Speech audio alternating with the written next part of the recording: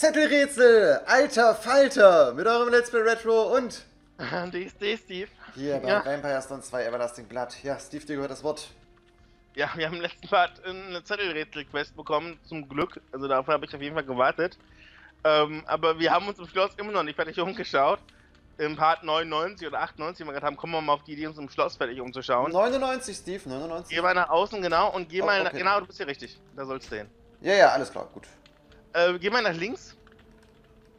Vielleicht finden wir direkt schon den ersten Zettel. Äh, weiter nach links.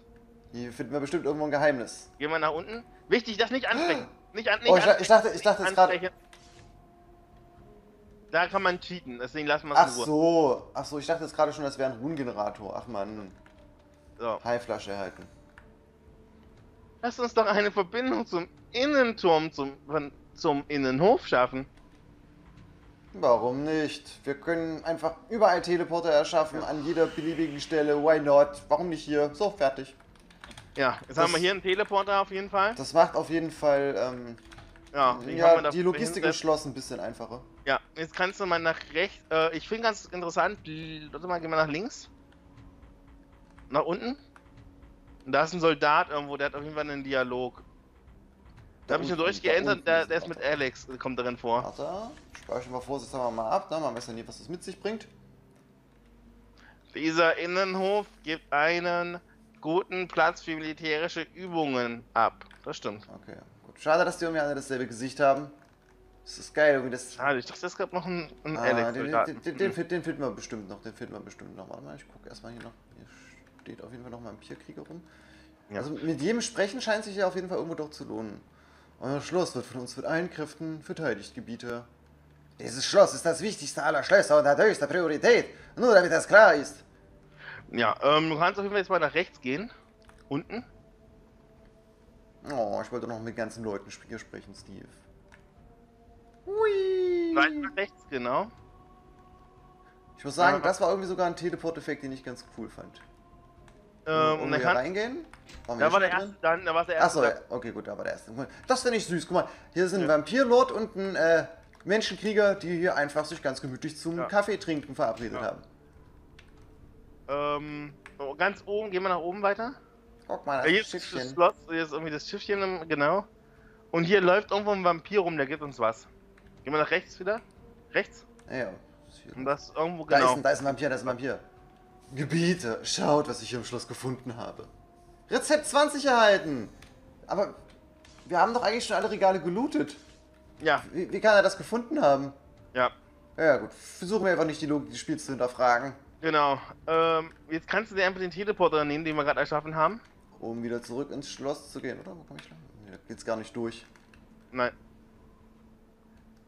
Äh, ist ja durchaus logisch, weil es ja ein Gebäude. Ach, logisch in diesem Spiel. Irgendetwas. Wow, und das hier ist der Teleporter wieder zurück, gehe ich von aus? Ja. Ja, alles klar, okay, gut. Ich finde das irgendwie verwirrend, dass man manchmal im Teleporter direkt drin steht und manchmal halt irgendwie an so einer anderen Position des Ja, Raums. genau. Geh mal nach, äh, geh mal nach unten und hol mal das Gold ab von den Steuereinnahmen. Na klar, und von den Diebinnen. Wow, da liegt ja sogar einiges an Gold drin. 36.208 Fehler. Wow, Steve, du hast echt verdammt lange gespielt. Ja. Das muss ich jetzt an der Stelle machen. Wow, Ja. also Steve, danke. Wow, Wirklich viel, vielen lieben Dank. Dann gehen wir direkt mal noch die Diebinnen besuchen. ja, genau. Ansonsten, was hast du denn noch so Schönes vor? Drei Heiltrank, ein Blitzstaub, ein Flammentrank, 11.302 Fehler. Hui, rich. So, dann Wollen wir die gibt's, 100.000 Fehler abgeben? Ähm, ähm, ja, machen wir das mal. Ich denke nämlich auch. Ne, weißt du, welchen Teleporter wir dafür nutzen mussten? Äh, den haben wir noch nicht frei. Die haben dafür noch keinen Teleporter, logischerweise. Weil das Schloss ja noch nicht ist. Oberdamp ist ja das Schloss. Ach so, logisch, ja, okay. Du hast, du, hast, du hast absolut recht, Steve, du hast absolut recht. Also, du musst jetzt hier mal nach oben fliegen. Ja, ist gar kein Problem. Weißt du noch, welches Schloss das war, dass wir Ja. gezielt hinfliegen Oben links. Als Tipp speicher hier bitte mal. Warte. So, gespeichert. Äh, oben links. Oben links ist irgendwie ganz schön weit weg, aber Ja, flieg da mal, genau. werden wir einfach hinkommen. Und so erkunden wir auch den Rest der Welt. Ja.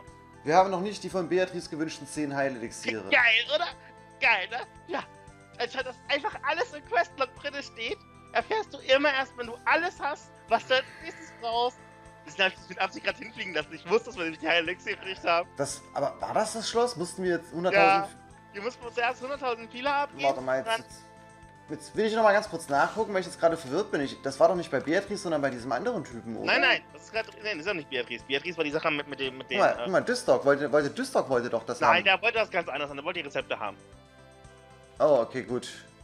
Dann habe ich da irgendwas falsch in Erinnerung. Gut, es Ja. tut mir leid, Ja, Steve. das war die Fake-Quest, siehst du? Ich wusste nämlich, kannst du nämlich einfach erst 12 drücken und laden. Äh, Leute, wenn, genau, wenn ihr wisst, wo man Heilelixiere bekommt, dann könnt ihr es ja nicht. Oder ich kann einfach Man mal. kann sie kaufen, aber das. Guck einfach mal bei den Kindern der Apokalypse nach. Da nicht, aber woanders kann man sie kaufen. Ich habe sie sogar mal in vor sechs Parts oder so gesagt, wo man sie kaufen kann. Aber das machen wir jetzt noch nicht. Weil wir finden Heilexierer beim Erkunden von gut. Aber geh ruhig nach unten. Denn es ist ein alter Bekannter wieder da. Ein so, alter Bekannter. Genau, eine Ebene noch nach unten gehen, genau. Dann gehen wir jetzt mal äh, links durch den Lila-Teleporter. Da. Ach, perfekt. Aber wir, hä, haben wir, ne- wir, haben wir der Ja, Story keine irgendwie- Ahnung. Man, Ach, man vielleicht- muss vielleicht- selber einfach vielleicht- das Schloss verlassen oder so. Ich denke mal, das war's. Oder es wurde tatsächlich über einen Timer geregelt. Ja. Das kann ja Aber auch sein, dass Ingame irgendwie erst eine Stunde vergehen muss oder so. Ja, also irgendwas auf jeden Fall. Na, ihr seid es. Ihr habt mittlerweile einige Bogen eingenommen, habe ich gehört. Nein. Wie wäre es mit einer Entschuldigung für den kleinen Betrug beim letzten Mal? Betrug? Du beleidigst mich, Dreckskerl. Ihr habt für einen magischen Trick bezahlt und den habt ihr bekommen. Und der funktioniert perfekt. Meine Diebinnen sind keine Puppen, die ich anziehen will. Die sollen klauen.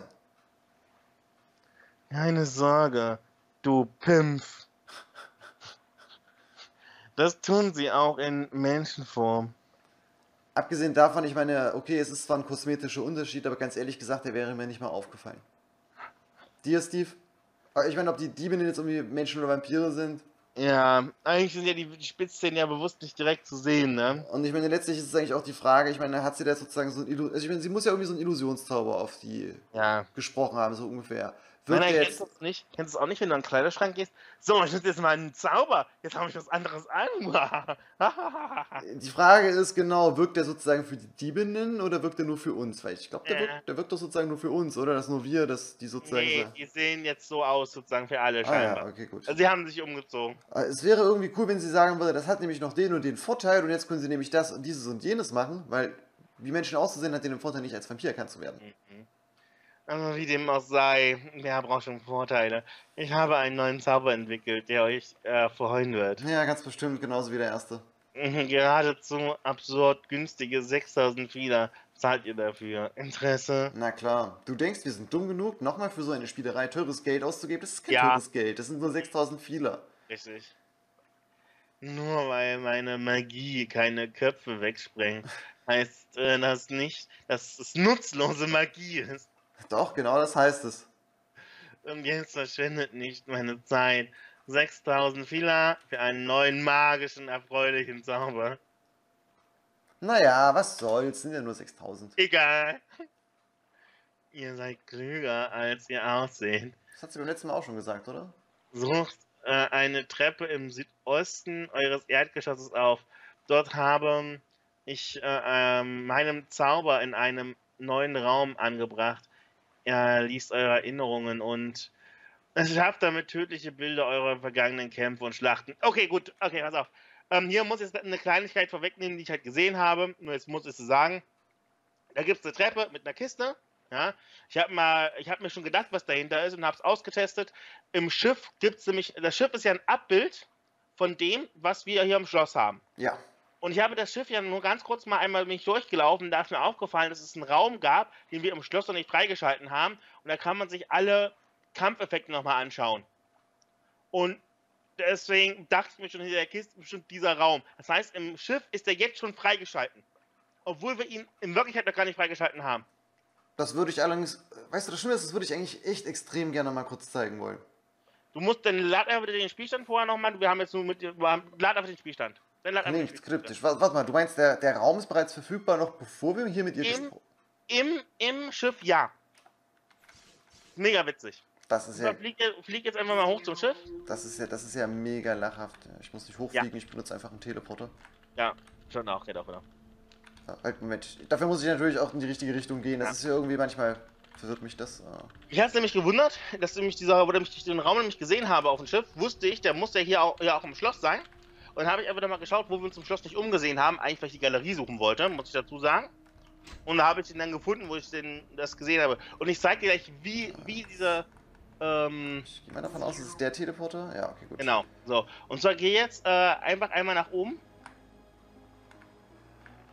Äh, geh jetzt nach unten sozusagen, also auf dem Schiff nach unten. Naja, ich weiß schon, was du meinst. Geh nach oben, geh dann wieder nach unten. Okay. Ja, ja. Und gehst dann hier sozusagen wieder ähm, rein. Genau, darunter. So, und jetzt gehst du nach links, sprich mit keinen Leuten und so weiter. nein, nein, nein. vom. wirklich, ich, ich mache einfach nur das, was du mir sagst. Genau, nach rechts. wow, wirklich. Ja. Wenn ich mir überlege, wer, niemand würde das so aufbauen. Niemand Ja. würde das so bauen. Warum gibt es hier nicht auch noch einen Durchgang? Ist Ja. irgendwie wirklich. Ja, ja, ja, ja. Und jetzt kannst du hier, warte, durch den Teleporter links gehen. Durch den lila Teleporter. Ja. Mach das mal. Vorsichtshalber nochmal. Spielstand aber. Ähm, nee, warte, dann war es der nicht, den geh nochmal durch. Ja, wenn ich wieder durchgehe, dann sind wir wieder im Schloss. Ah Das, ja, stimmt, das ja, ist ne, ja, ja. das ist ja die Krux an der Sache. Ja, das ist ja Okay, das große dann, Problem. Deswegen war es so äh, sinnvoll, davor äh, nochmal war's- abzuspeichern. war's hier nicht, okay, dann gehen wir nach oben aufs Schiff. Ja, es ist. Es ist es- okay. schon, dies- dieses sogar kommen jetzt gleich das Schiff. Äh, ich ich finde das aber wirklich so geil. Wirklich, wie viele NPCs hier rumwuseln. Weißt du, das Schöne ist, wäre dieses Spiel so auf diese Art und Weise damals sozusagen zum Original-Release erschienen, das hätte wahrscheinlich die ganzen Computer überfordert. Also Äh, ihr seht, also dann gehen wir durch das rechte durch hier. Ja, genau, hier war's. Okay, super. Dann gibt's aber rein von Dimensionen her gar keinen so geil, wie, wie sie einfach alle am Tisch sitzen und Ja. sich ein Hähnchen teilen. Genau. Also wie gesagt, alles was im Schloss ist, gibt's hier auch nochmal. Deswegen durchgehen oder nach unten? äh, gehen wir gehen? hier durch, genau. Ja, ja, ja. Und das ist der Raum, den wir, den wir freischalten würden. Und das kannst du, ja, und jetzt zeige ich dir so, gehen wir wieder, nee, ich spreche noch nicht mit ihr. Achso, warte. Springen wir mit ihr. Geh durch den Teleporter zurück. Ähm, und zwar zeigen wir jetzt mal, wo der ist. Und zwar unten rechts ist der ja. Also gehen wir jetzt die Treppe rechts runter.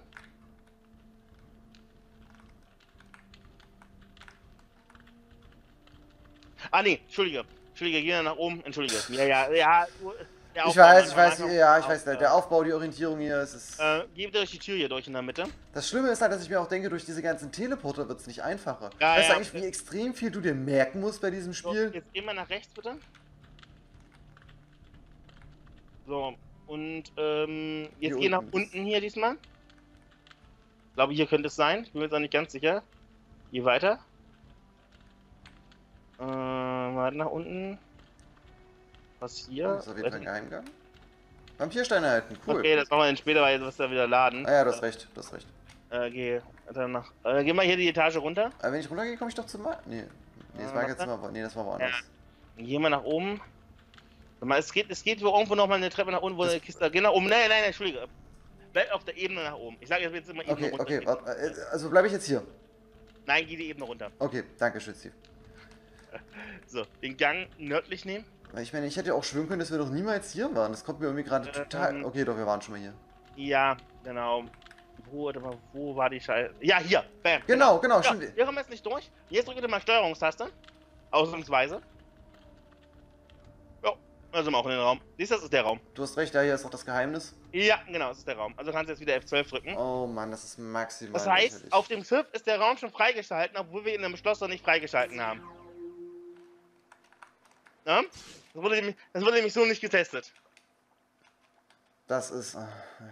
Ja, habe ich auch nur durch Zufall, wie- weil ich mir zuerst das Schiff angeschaut habe. Das heißt im Klartext, wenn man also Sachen im Schloss noch nicht freigeschalten hat Dann- und das Schiff freischaltet, sind die quasi über Schiff erreichbar. Also zumindest bei diesem einer, zumindest bei Bei dieser einen Sache auf jeden Fall. auf jeden Fall ja, ja, aber genau. wahrscheinlich, Genau. du hast wahrscheinlich recht, wahrscheinlich wird das nicht das einzige sein. Ja, hier müsste man eigentlich nochmal drüber testen, so nach dem Motto. Ja, ähm, theoretisch. Aber gut. Wir müssen dazu immer noch sagen, wir spielen Version 1.9, deswegen wir Genau. haben keine Ahnung, was bei der aktuellsten Version gerade der Fall ist. Ja. So, dann haben wir jetzt noch ein bisschen Zeit, die wir uns vertreiben können. Wollen wir jetzt So, mal äh, ja genau, es gibt noch eine, Vers- noch, noch eine Person mit Face-Set. Teleportiere ich mal und teleportiere Oh, wow. Und das funktioniert krass. Teleportiere ich wieder mal durch, zack. Mal gucken, ob sie was Neues für uns hat. Aber warte mal, das finde ich interessant. Weil das bedeutet ja dann sozusagen, dass es diesen Raum hier mehrmals geben muss. Hm. Weil das, guck mal, die Sache ist, wenn, wenn wir in dem anderen Raum den Teleporter benutzt haben. Mhm. Aber ich meine, wie funktioniert das jetzt sozusagen gerade? Warum haben wir jetzt eigentlich zwei Schalter links? Hast du es gesehen? Da- Dass da zwei Schalter waren? Ja, rechts sind jetzt zwei Schalter. War da, war da vorher nur einer oder was? Ja. Okay. Sprich bitte mal mit ihr nochmal.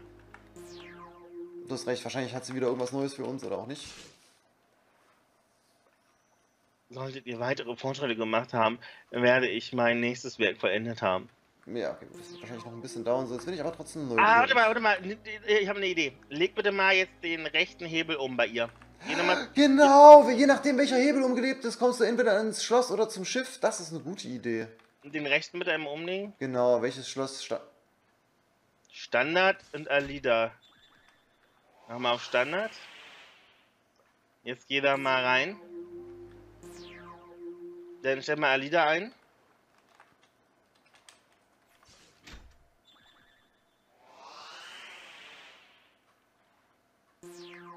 hat damit nichts zu tun. Soll denn Alida sein als Schloss? Ich.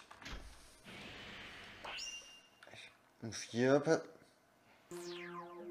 Hm. Okay. Ähm, ja, dann. Ich bin auf jeden Fall verwirrt. Egal, wir gehen jetzt einfach. Ich, die Sache ist, jetzt habe ich irgendwie Bock, nochmal zurück zum Schloss zu gehen, weil ich nochmal vom Schloss aus sozusagen zu Anida gehen will. Hm, Einfach jetzt nur, um das nochmal herauszufinden, weil jetzt bin ich halt gerade confused, wie das jetzt gerade genau funktioniert mit dem Teleport. Weil ich hätte nämlich auch zuerst gedacht, mit dem nimm Hebel. mal irgendeinen anderen Teleporter bitte. Äh, oben. Oder, ja. Geh, geh doch mal ein Schiff bitte rein. Bleib stehen. So, So, jetzt nimmst du mal oben irgendeinen beliebigen anderen Teleporter. du hast recht, genau. Hier einfach rein. Nee, den nimmst du mal nicht. Nimm oben einen der grünen bitte. Genau, und jetzt sind wir nämlich wieder im Schloss. Ja. So, und jetzt, äh, wo ging's noch gleich zur Lieder? Ähm, einmal in den Turm rein, links. Ja, tut mir leid gerade wegen dem Flugzeug, das gerade vorbeifliegt. Das hat man nicht, oder das hört man nicht. Und jetzt links sozusagen dann. Genau. Genau, hier oben. So, warte mal, ich speichere das nochmal ab. Genau. Und geht dann mal direkt gleich wieder nochmal durch. Interessant. Bei dem Ja. wird es einfach gemerkt, scheinbar. Bei dem Teleporter, wo man herkommt. Aber, Deswegen, es wird sich einfach gemerkt. ach so, du meinst genau, dass bei dem Teleporter eingestellt ist, dass dass Ja. er dich sozusagen zurück zu der Location bringt, Ja, von der du genau. gekommen bist. Genau. Das ist einfach eine Variable, die sozusagen abgefragt wird. Wäre halt cool gewesen, wenn man das auch bei mehreren Teleportern gemacht Ich spreche hätte. jetzt nochmal mit ihr, ob, sie jetzt vielleicht äh, ähm, Ich glaube, das ich, wie, wie, gesagt, ich glaube. Was ist denn das? Rosa Da Häschen. ist ein rosa Häschen. Ist der kleine Scheiße nicht zum Anf Aufessen? Den hat Anastasia vor äh, mir von einem Flohmarkt geklaut. Rosa ist zwar nicht ganz meine Farbe, aber er zählt ja, es zählt ja der Gedanke. Sehr romantisch. Zumindest romantischer als ein Trinkbecher aus dem Kopf eines Bürgermeisters Äh, oder lol. eine Flasche Wein aus den Tränen gefolterter Kinder. Wie kann man bitte schön aus Tränen Wein machen? Ja, Jesus, der in dieser Welt nicht ex existiert. Aska. Was zum Teufel soll das jetzt gerade schon wieder? Ja. Was? Es, es gibt keinen Gott und keinen Jesus in diesem Also ich Welt. muss, ich meine, es gibt eine Kirche, ja, aber bisher wird nie Jesus Christus an und, und, und so weiter, und, oder? Nein, überhaupt nicht. Was soll, das der, was soll, was soll der. Käse schon wieder? Was ist denn das schon wieder für ein komischer vierter Beinbruch? Warum fällt Nyria gerade so extrem aus der Rolle? Hey, diese Sachen machen wenigstens kreativ. Und woher weiß Aska jetzt schon wieder, wer Jesus ist? Ich glaube, ich nenne ihn Merlin. Das heißt, Ja, dann sprich ja jetzt mal wieder mit ihr. Es hat sich ja schon mal was verändert. Ah, wenn das mal nicht unsere famosen Schlüsselsammler sind. Das Schiff von der Jagd. Schwing keine Reden. Du hast sicher einen neuen, großartigen Zauber vorbereitet, den du uns andrehen möchtest. Wow, schon, also extrem viel abgeschnitten diesmal. Das habe ich tatsächlich. Äh, war mein letzter Zauber zu eurer Zufriedenheit. Wir haben uns den bisher noch gar nicht angeguckt.